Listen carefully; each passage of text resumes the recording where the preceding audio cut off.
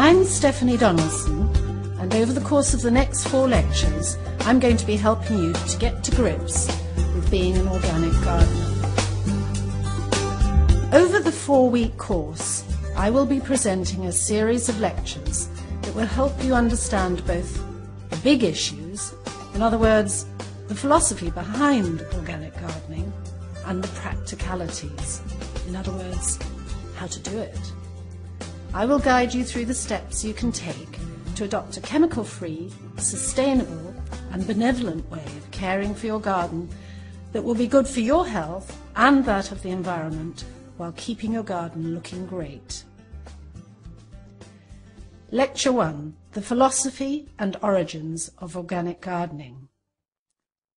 This is an introduction to the subject and the people who have turned an age-old way of tending the soil and growing plants into the most environmentally kind and sustainable way of gardening for the 21st century. I'm an organic gardener, and presumably, given that you've signed up for this course, you are too, or would like to become one. So what is organic gardening?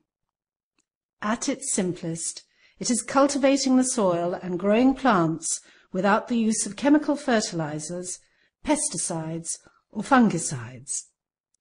Organic gardeners believe that the key to successful growing is to create a healthy soil. It is a safe and sustainable method of gardening that ensures that the soil is passed on from generation to generation in good heart. Done well, it is also the most environmentally friendly way to garden and is now widely recognized as such. So why does this matter? It is easy to dismiss your own small patch of soil as unimportant in the greater scale of things, but this just isn't true. An organic garden is a place where a natural balance can establish itself for the benefit of all its inhabitants.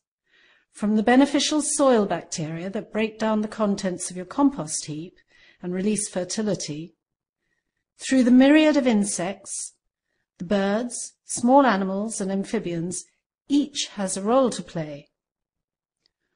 Organic gardening is not just about growing your own fruit, flowers and vegetables without recourse to artificial fertilizers or pesticides.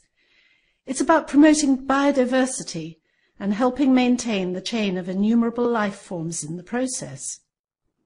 It is extraordinarily complex and interconnected. For example, did you know that ants are symbiotic with violets, cyclamen and corydalis? There's a fleshy bit on the seeds which they take down to their nests and feed to their young, before taking the seed away to grow elsewhere.